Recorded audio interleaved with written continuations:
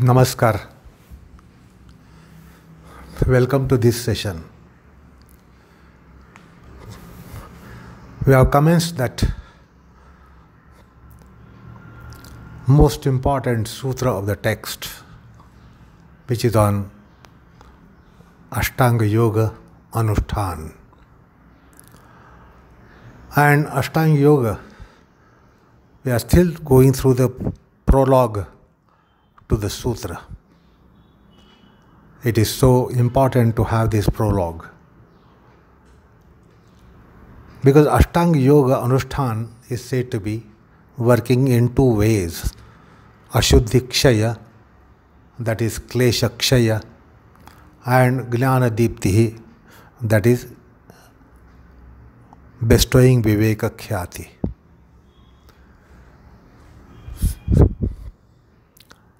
And as I said yesterday, even if it is not Anushtanam, if it is taking place on other planes which are undoubtedly lower planes than Anushtanam, Ashtanga Yoga would be working that way. But in the light of yoga that we have today, in the light of yoga that is taught today, any stretch of imagination will not give a slightest clue that it works on.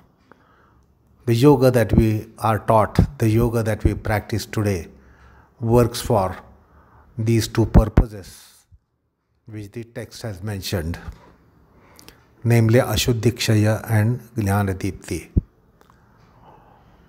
And therefore, the prologue is getting extended with today's session.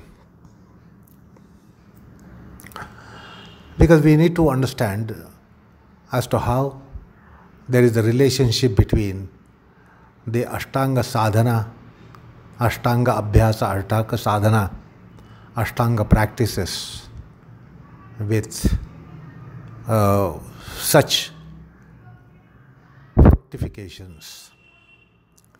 Because as I said, today's yoga that we are taught and today's yoga that we hear about can in no way uh, tell us that such things can happen.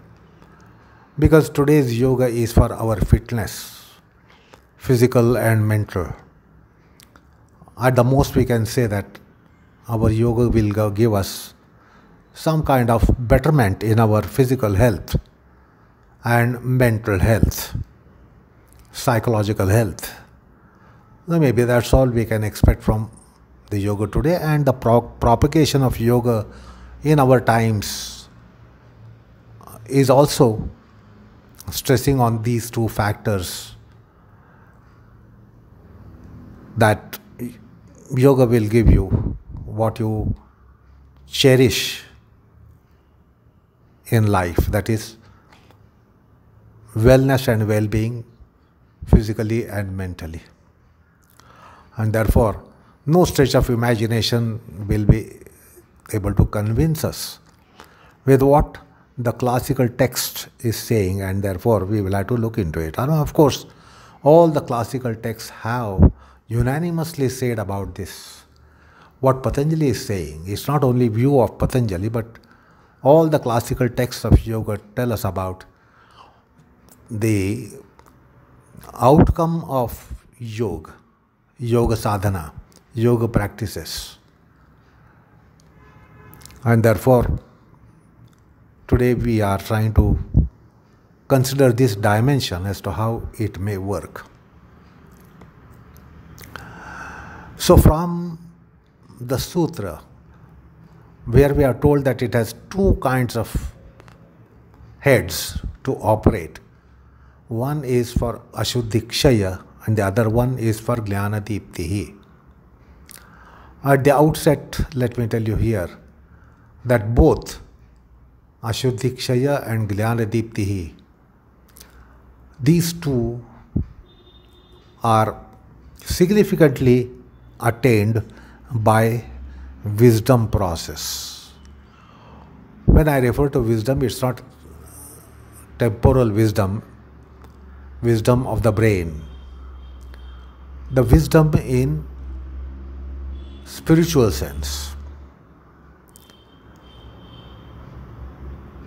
The Jnana, we know what is Jnana and Viveka Khyati is Jnana, and we can uh, understand that Jnana is means of liberation or Kaivalya.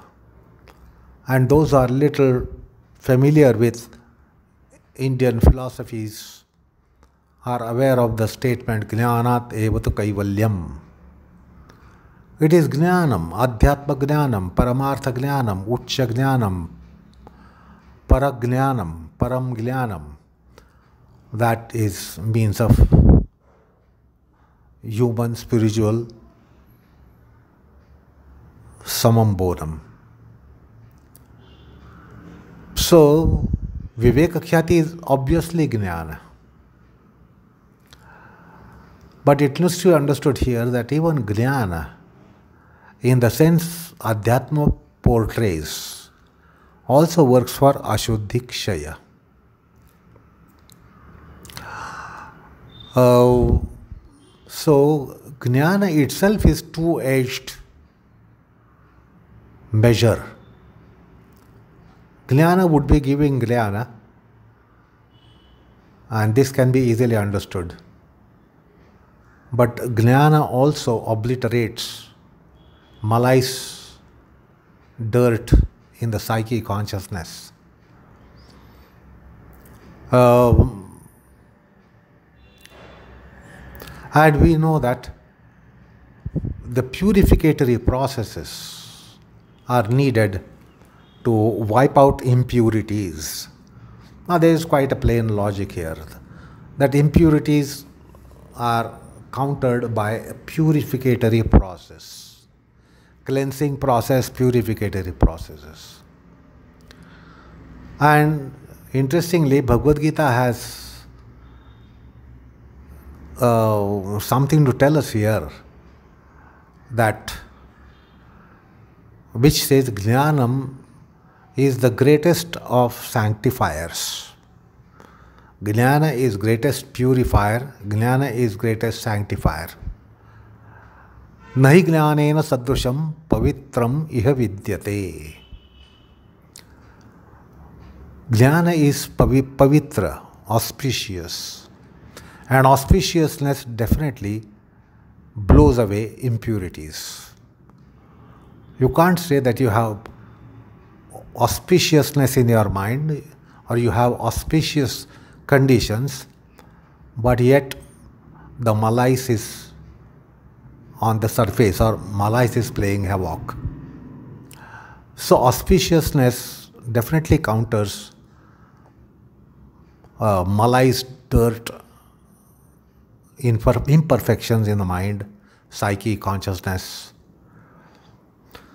So, the Jnanam being Pavitriam, it also works for Ashuddhikshaya. Now one can easily relate how Ashuddhikshaya would take, take place with Pavitriam. And particularly the Chitta Mala, the Ashuddhi of the Chitta, would certainly be countered by Pavitriam, Mangalyam. And the Jnana is said to be supremely pavitra and mangala.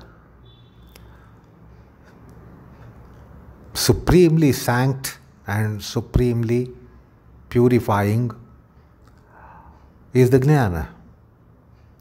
And that's why that verse in Bhagavad Gita, Nahi jnanena sadrusham pavitram iha vidyate. Nothing is as pavitra, as auspicious as jnana. Of course, this jnana is not knowledge that we understand in the worldly realm, temporal uh, knowledge. That's not the purificatory aspect. Knowledge only gives knowledge. So, by knowledge, you only have a condition that you know better. So, knowledge gives you that condition, you start becoming a better knower and better and better knower and better and better and better knower. But that is about the worldly knowledge. It only makes you knowledgeable. But Adhyatmic knowledge, which is the true knowledge, essential knowledge, only knowledge, in the languages of Bhagavad Gita. And that is Adhyatma Jnanam. The Jnanam is Adhyatma Jnanam. And Adhyatma Jnanam is that Jnana which is referred to here. That it purifies your mind, psyche, consciousness it purifies your chitta. When the chitta is pure, it is the best receiver of Adhyatma Jnanam. So, although we think that these are two heads with which Ashtanga Yoga works, here we can understand it is only one head. With one head, Ashtanga Yoga works. And the one head itself works in two ways for Ashuddhikshaya as well as Jnanadiptihi. That is also a point to be understood. Otherwise, uh, physical cleanliness doesn't come by uh, what you call that which is sanctifying process or it doesn't come any by any other means by other than cleansers. So we only understand cleanse, cleanser, cleanliness, cleansing in physical realm. So there is no need of knowledge working there. Your knowledge will not, the worldly knowledge will not give you purification uh, worldly knowledge will only give you knowledge. But Adhyatma Jnana is unique. So, as that verse in Bhagavad Gita tells us in 13th chapter, Adhyatma Jnana Nityatvam Tattva Jnana Arthadarshanam एतत् ज्ञानम इति प्रोक्तम अज्ञानम यददो अन्यथा so actually we are all pursuing अज्ञानम in our worldly process of gaining knowledge our academical knowledge is nothing but amassing अज्ञानम in true sense of the term all the we become knowledgeable by academic pursuit we are amassing ajnanam essentially. But because that is ajnanam yadado anyatha. Rest all is ajnanam. It might be knowledge, but not jnanam. And therefore, we need to not mess up between the Sanskrit term and English term. The jnanam is jnanam, and knowledge is knowledge. So maybe it can be said that knowledge that we call as knowledge today is vijnanam. It is vijnanam, good in the worldly realm, in mundanity. This knowledge plays lots, uh, pays lots of dividends. If you are a knowledgeable person, that will play a lot of dividends in mundane world. So, uh, in that sense, it is the wealth. Knowledge becomes wealth in the mundane world. Uh, but jnana is a different thing, and not therefore not to mess up between jnana and knowledge. The point is, Ashtanga Yoga it is not that there are sets of practices that Ashtanga in a particular way will work for Ashuddhikshaya and Ashtanga in another way will work for Jnanadipti. So it should not be mis- misconstrued that way. Ashtanga Yoga doesn't have uh, double practices. That one is to gain the Ashuddhikshaya or attain the Ashuddhikshaya uh, the other one is to attain the jnanam. It doesn't work that way. It is one and the same sadhana. So that means uh, Ashtanga Yoga is basically wisdom process in the in the sense adhyatmic jnana process. So here we should understand the term wisdom as although it might be used very often that it, it refers to subjective knowledge, inner knowledge, subjectivistic knowledge, knowledge about oneself. And that knowledge about oneself works in both the ways. One is to mitigate impurities and overcome dirts of the mind, dirts of the psyche consciousness. The other one is to, the other one in the sense that itself results into the consciousness becoming good receiver of knowledge. So jnana comes in pure mind. Knowledge doesn't need pure mind. Our worldly knowledge doesn't need, need pure mind. It needs intelligent mind. But Adhyatma Jnana, for that Jnana, one needs pure mind. You can't have all kinds of dirts in your mind and yet try to acquire Jnanam.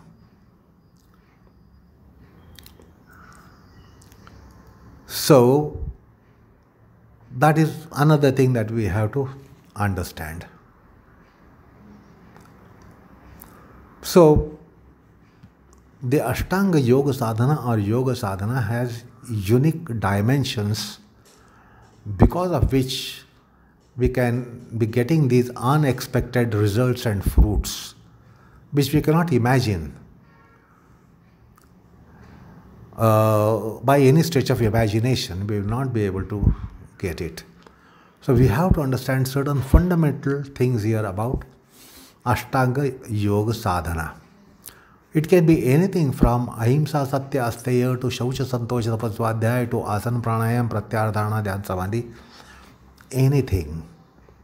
Basically, it is an internal activity.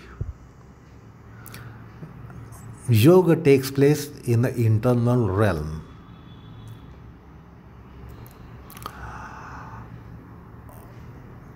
all other activities take place in external realm. We go out and do our work. So that's how is the expression that if you have to be working, you have to go out and do the work. While in Adhyatma and in Yoga, you have to go in and work. So understand what is meant by the word in, I-N, and out, O-U-T. So yoga is internal activity, internalizing activity. It is something that is done within and not something done without. So here we can distinguish the mundane activities take place outside. Even if the mundane activity is taking place internally, it is with regards to external. Yes, mundane activity can take place mentally. The mind will be thinking about the mundane aspects. But the subject matter of the mundanity is external. So, either the factor or aspect or content of subject uh, the subject matter in mundane realm is external or the very process and instrumentation and dynamics are external. And that's why we have to go out and do our work. So that is what is called laukika karma. While in yoga we have to turn inwards and go internally and do something internally. Be that ahimsa to samadhi, one has to go internally and do something internally. That's how it stands out uh, distinctly from mundane activity we don't have to depend upon any instrument external, nor the object is external, nor the subjective entity has to project externally. So, subjective entity has to project internally. The instruments are also internal to us, they are within us. And the object of uh, attainment is also internal to us. So, object of knowledge, subject of knowledge, instrument of knowledge, it's all internal. That is signature condition of Adhyatma. So, yoga is Adhyatmic sadhana. While if you take any worldly activity, there will be invariably an extraneous factor. So sometimes it can be just one factor, sometimes both the factors or all the three factors, at least very, very significantly and substantially, all the three factors are external in laukik. although you might have your thought process which is internal. It is not ruled out that there is no internal uh, thought process or internal instrument. You will be thinking, even for mundane goals and worldly goals, to be attaining something mundane, to be attaining something worldly, you will be having internal thought process, no doubt about it. But you will see that there are so many extraneous factors, the goal itself is outside you. The goal, the target, the destination itself is outside you. So, also, you will be taking recourse to so many instruments and gadgets which are external to you.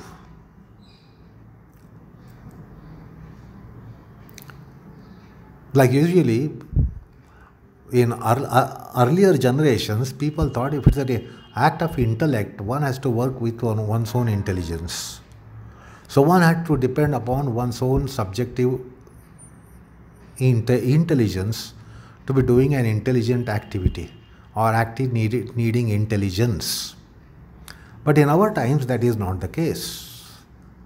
We can be using a computer and do the intellectual work with the help of computer. It will do all computing needed and the intellect, uh, artificial intellect would be working. So we depend upon extraneous instrument like any intellectual act, we depend upon computer. Uh, this was not the case in our earlier generations.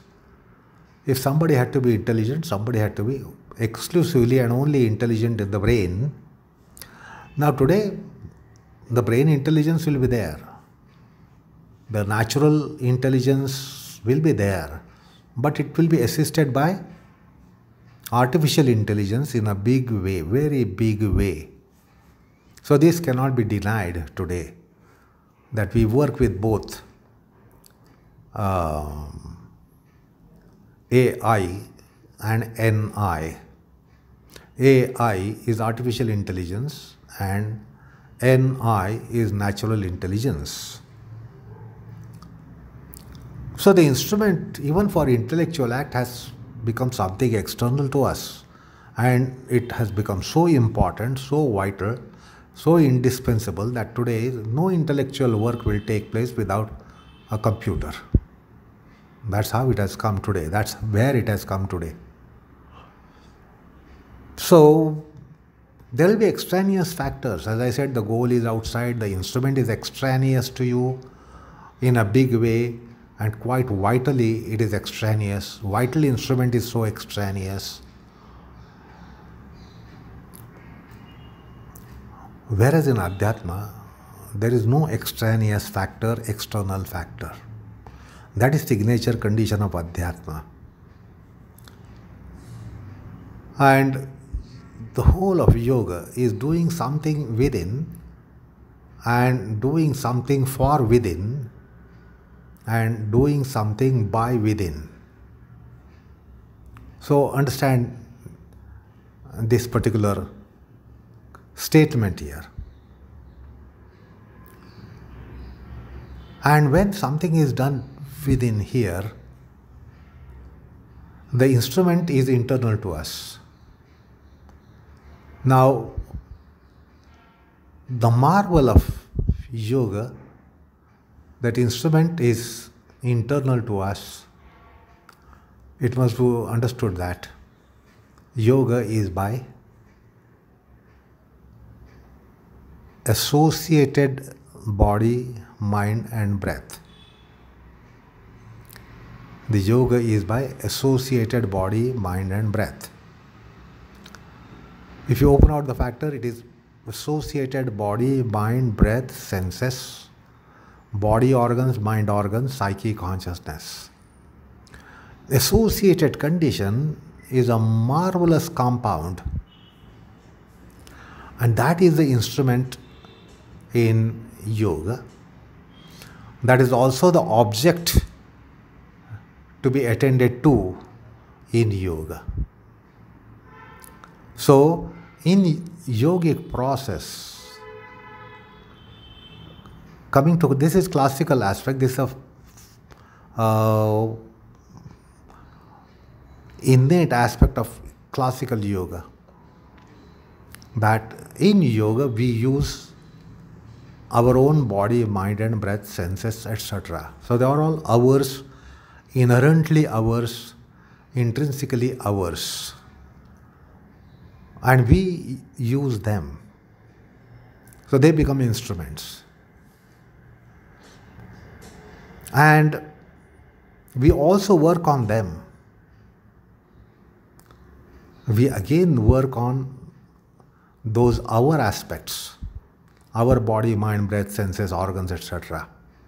So we work by all those ours aspects. We work on all those which are our aspects. And one who works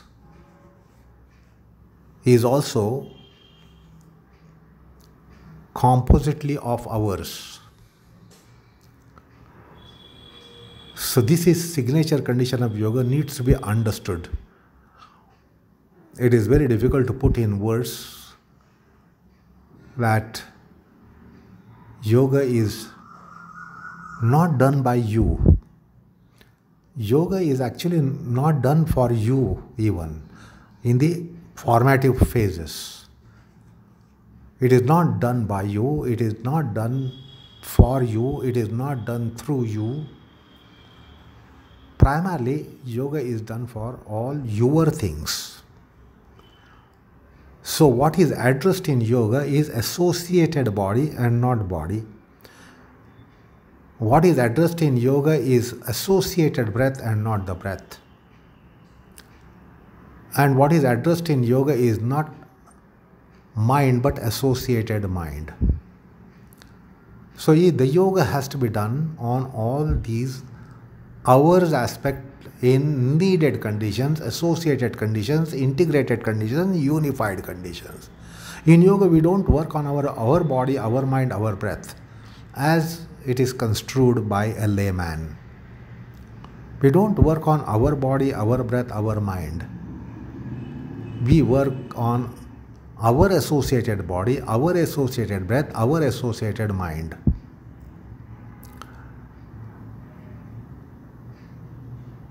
So that is the benefac- beneficiary aspect in dynamics of yoga. The instruments are also, as I said, they are intrinsic, inherent to us. We do yoga through associated body, mind, breath, or associated body, mind, breath, senses, organ, psyche, consciousness. So those are the instruments. And the doer is also associated. So if we look at yoga as, as to what is really done, if we think yoga is doing, then we should know what is done and who is doing it. So if yoga is doing, then there is a doer and there is a done. So when there is a doer and when there is a doing and where there is done in yoga, they are all intrinsically ours. And therefore, when it comes to doing of yoga, basically we have to get these aspects together body, mind, breath. They should be in associated conditions And then they are also such that they can get kneaded. All matters don't get kneaded. But body, mind, breath matters are such that can get kneaded. When I say kneaded, K N E A D, knead. So these matters are such that they can get kneaded. Although chemically we see that the body is of one matter, mind is of another matter, breath is of yet another matter. Internally, these matters are all kneadable, that they be- can become unified one, even. So that's why yoga has that definition. Unified condition is, is, is yoga. So they can be kneaded, they can be unified. Integration is yoga. So they can get integrated. And the doer is such a kneaded entity.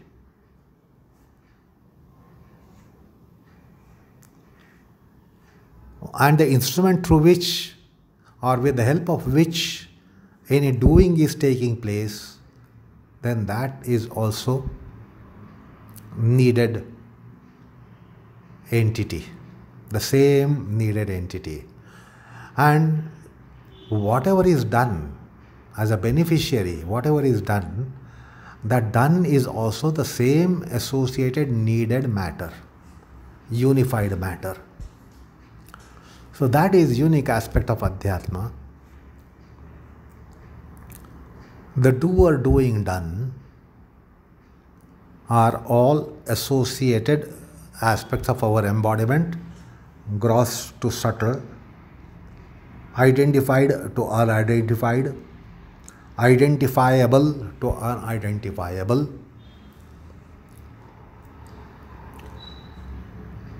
So, the internal activities with internal purpose, for internal purpose, in Adhyatma would take place by all these things coming together. And that is also connotation of yoga. To come together, to bring together is also connotation of yoga. So see the connotation of yoga appearing in very preparatory stage where we try to get these aspects come together, get kneaded together. Starting from getting associated, getting related, and then getting kneaded and getting unified, getting integrated and getting unified. So, all these are connotations of yoga. Associate condition of body, mind, breath is yoga. Mutually related condition of body, mind, breath is yoga. Mutually connected condition of body, mind, breath is yoga. Mutually integrated condition of body, mind, breath is yoga. And mutually kneaded condition of body, mind, breath is yoga. And mutually unified condition of body, mind, breath is yoga. And that is why this is yoga, because this is the basic preparatory.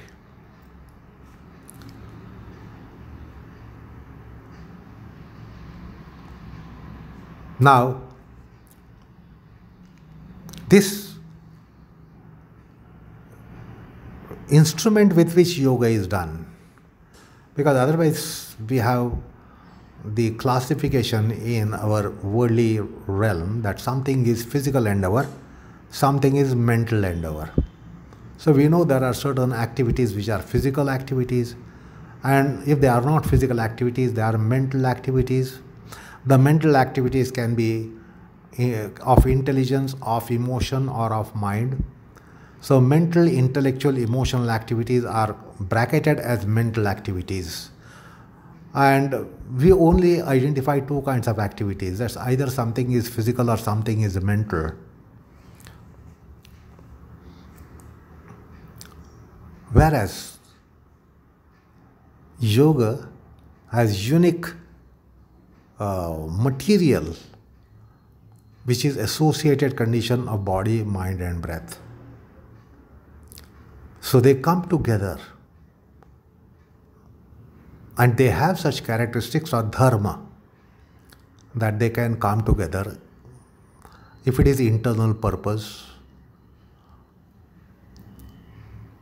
So they have such an affiliation with each other, they have such a relationship with each other that they can really come together to the extent that they can get unified. So they have such a relationship internally. Externally, we don't really understand uh, this relationship in perspective. Have you ever put a question what's the relationship between body and mind? Like you have relationships that somebody as parents or somebody as offspring. So, parent and offspring relationship, brother and brother relationship, sister and sister relationship, brother and sister relationship. So, we know these various relationships which we have in the world. Uh, and it extends to friends, to friends and companions, etc., etc. We have those relationships. Somebody is your friend. It's a relationship as somebody is your brother, and somebody is your sister, and somebody is your father, and somebody is mother. The friendship is also relationship. So we are only aware of these relationships, how we have relationships. But we do not understand the relationship of ours. All that is ours. So you understand your relationship that you are somebody's brother, somebody's father, somebody's son, somebody's daughter, somebody's wife, somebody's husband, somebody's friend. So that is, you understand your relationship with the world around you. But you don't try to understand the relationship of yours with yours. So in yoga, we are introduced to these unique relationships. Like we have all these things which are ours, or they are all these things which are yours, like your body, your mind, your breath, your senses, your organs, your psyche, your consciousness. So you know your relationship with your body, your relationship with your mind, your relationship with your breath, etc. But you don't try to understand your relationship mutually between each other. And they are all mutually related. And we have never got introduced to their mutual relationships. As to how our body and our mind are related. Our body, our breath are related. Our breath and our mind are related. Mutual relationships are not understood. And of course, your activity depends upon relationships. What you do depends upon your relationship for whom you are doing it, with whom you are doing it, for with the help of whom you are doing it, for whom you are doing it. So it depends upon relationship. Your activities depends upon relationship. If you like a person a lot, you will try to do something that is the best for that person and that for you. But if the person is disliked for you, you don't something that is best for that person. So your activity will be different, depends upon whether that person is your alien or ally, friend or foe, liked or hated. So your activity depends upon how is your relationship with it. So your activity depends upon how is your relationship with the instrument, how is your relationship with the object.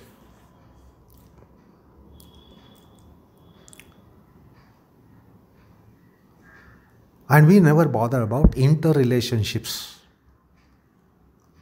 are intra relationships between, between which are all ours. Ah. The body is ours, the mind is ours, the breath is ours, the senses are ours, the consciousness is ours, the psyche is ours. So these are all ours. That means between themselves they are brothers and sisters of each other, are cousins of each other. So they have always a relationship. If you have a brother and you have a sister, it's not only that you have a relationship with the two, that one is brother, the other is sister, but they mutually have their relationships. They are also mutually brother and sister of each other. Therefore, they happen to be your brother and your sister. So, there is a mutual relationship. And what you do, how you do, would depend upon relationship. And therefore, it is important to understand this relationship between body, mind, breath, senses, psyche, consciousness, etc. Then what is done would be understood, how something is done would be understood, why something is done would be understood.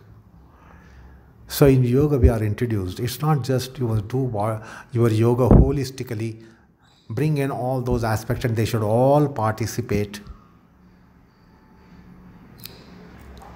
They must usually interact they must mutually inter-respond. And not that it's just an orchestration that everything is doing in your yoga. Body is doing, mind is doing, breath is doing, senses are doing, psyche consciousness are doing. It's not that all have to participate.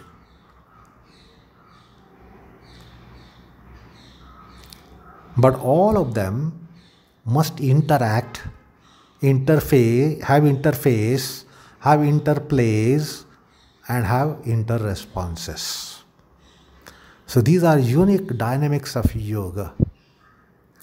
And therefore, this kind of yoga would work for both. It would purify the mind, psyche, consciousness, purify the body, mind, psyche, consciousness, and it would also go give wisdom. So when they interact, there are sparks of wisdom like, if two wise people, wise people in a worldly sense, whom we call as wise, that is a wise person, that's a wise person. If two wise persons are interacting or dialoguing, discussing, we will be able to get a lot of wisdom substance by two wise people interacting. or having interface. The wise people having interface is of great advantage to we people around them. They are talking, they are discussing, they are debating. Lot of advantage is there for we people who are around them. So therefore, when two wise people are around, we don't want to talk. We want to hear. And when we hear, we get a lot of wisdom by their interactions. So, similarly, when these associated body, mind, breath are interacting, the wisdom sparkles in their interactions. So, there are sparks of wisdom coming when associated body, mind, breath, senses are interacting, having interplay, having interface, mutually interacting, and mutually inter responding.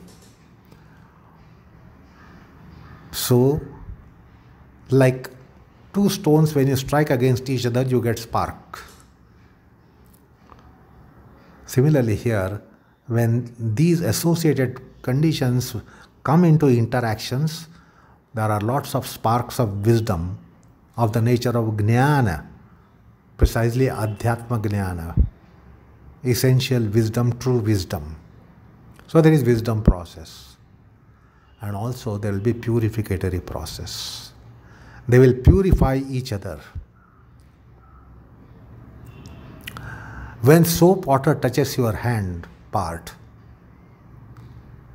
then the soap will clean that part.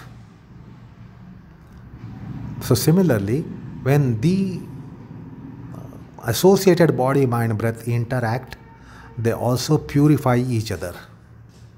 The body matter is purified, breath matter is purified, mind matter is purified. So they are mutually purifying each other.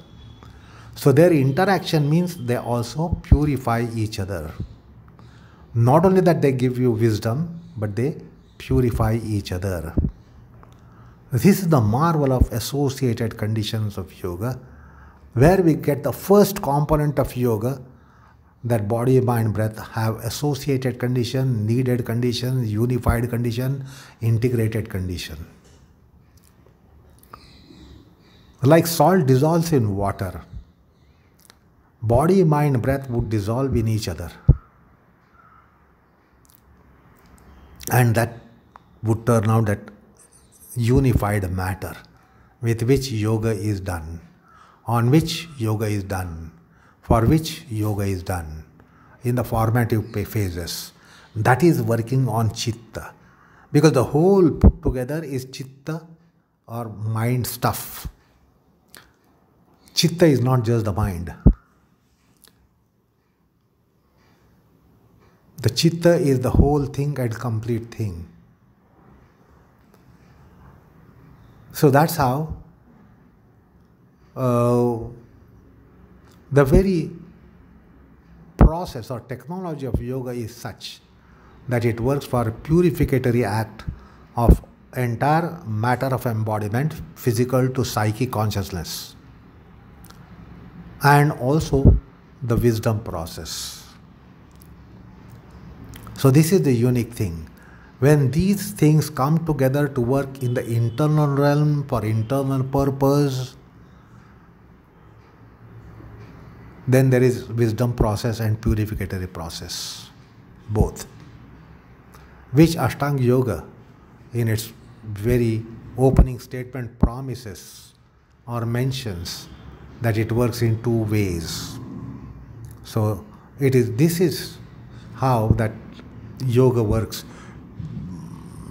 Ashtanga yoga of any hierarchy on any plane from raw to rudimentary plane to very ripe plane would work in this way.